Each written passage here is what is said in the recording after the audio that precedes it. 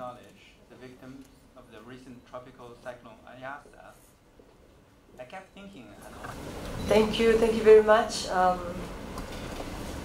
Ms. Uh, good, morning, uh, good morning to you.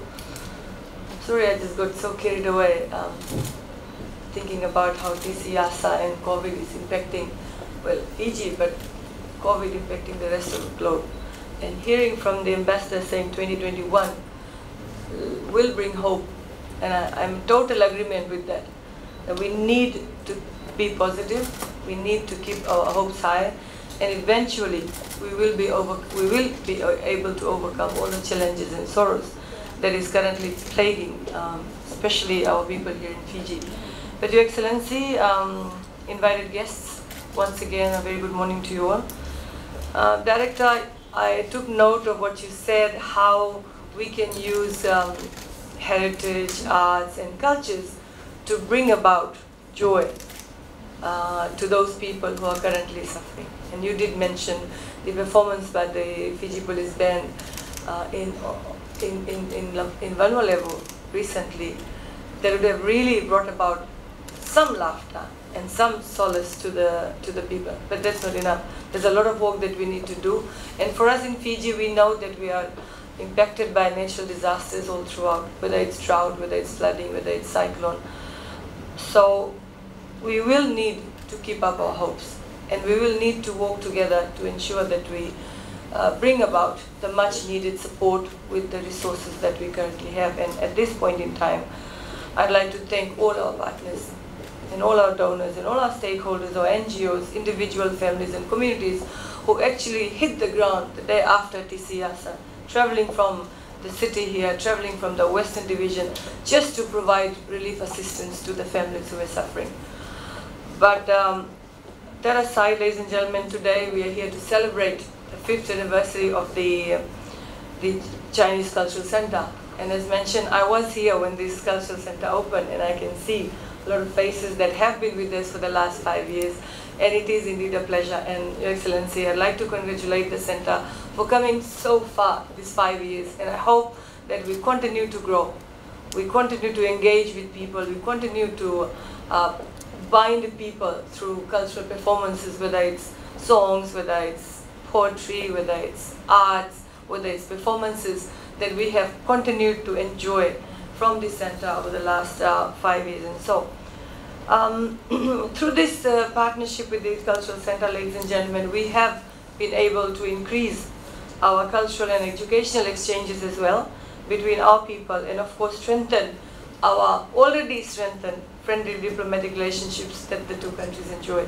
Thank you very much for that. Since 1975, um, when, when we opened our doors to cooperation and exchanges between our two countries, China has steadily and increasingly become a key source of foreign direct investment, trade, and tourism earnings for us, and we thank you for those partnerships.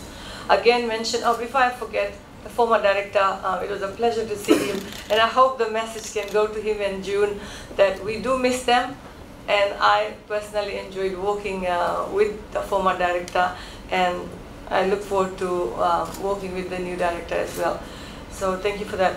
Uh, there was mention of COVID um, uh, in 2020, and again, of course, COVID has put a closure to um, closure on our tourism market in China, placed restrictions on our travel, and we pray that this won't be too long before we can travel to China and other parts of the world, and of course, welcome our tourists back to our friendly shores like we once did. Again, hope. Ladies and gentlemen, over the last 45 years, I think China has proven to be a very good friend of Fiji and has actually stood with us shoulder to shoulder in providing cooperation and assistance in whatever challenging situation our country has been. And um, coming to TC Yasa, again mentioned by His Excellency, the government um, of the People's Republic of China responded very swiftly to offer, offer assistance of $420,000 towards our national disaster relief and rehabilitation works uh, for our affected TC Yasa communities in the Northern Division. And we once again thank you for that. Of course, we thank the Red Cross Society of China and the Chinese enterprises in Fiji for their timely assistance to the Fiji Red Cross Society in Fiji in the first phase of immediate relief and humanitarian assistance for YASA. And as I was walking along the corridor to this room here, we had a quick chat and Excellency, I'd like to thank you uh, for your support of assistance as we move into the next few months to see how best we can coordinate and uh, see uh, how best we can again uh, collaborate in the education sector to assist our affected schools, etc. Yes, mentioned again, 85 schools, uh, more than 85 schools in the Northern Division and the, uh, the maritime areas, but uh, we, we are lucky that the majority of them sustained minor damages, which we have been able till today to fix. There are about 32 schools, minus two, 30, 30 schools that is still on our list. And um, for those 30 schools, we have started arranging materials to be sent to the Northern Division so that by 18th, we at least have a roof over our classrooms that have been damaged for our students to be welcome back. And, and I can assure you that we are on target and uh, we will definitely rebuild it. But that's just the first phase of rehab. Of course, the rebuild process will come after we have our engineers and consultants out there to see how long those structures can last us. But for the time being, I can assure the stakeholders present here that your assistance has been put to good use and we are really um, geared towards starting our new school, school term for our students come the 18th. So thank you for that. And like I said, we are forever, the people and the government is forever grateful for all the support that we have received. And, and I'm so sort of emotional at this moment to say, we can't thank these individuals and organizations and countries enough. And assistance continues to flow. People individually are contacting us, organizations are contacting us. How do we assist those students who've been affected? Stationery is just coming in, school bags are just coming in. And that is the good spirit that we, we our people have. And I'd like to thank uh, everybody for that. um, director and the staff for the China Cultural Center in Fiji, thank you for building a bridge of understanding, a bridge of knowledge, and an exchange of uh, your, your beautiful culture and traditions in allowing our people to become better acquainted with the Chinese culture and people. We actually have benefited greatly from our cultural acquaintance, whether it's been your, the love for your food, whether it's been the love for your costumes and artwork. The Fijian community has benefited, and I'm sure a lot of students who have uh, benefited from the educational exchange program will agree with, with me that once you go to China, you want to go back uh, to China over and over again. I've managed to travel close to three times and I enjoyed the hospitality and uh, I'm sure as borders open we will be able to travel freely to, to uh, get a more or become more culturally acquainted. So ladies and gentlemen, again I'd like to thank uh, the, the former director again and I would like to convey my best wishes to him and his wife while they are braving the cold in Canada. But I'm sure they are always welcome in Fiji. And uh, I hope, like I said, the center progresses tenfold and we continue to build better relationships and acquaintance with, with your people and with our people.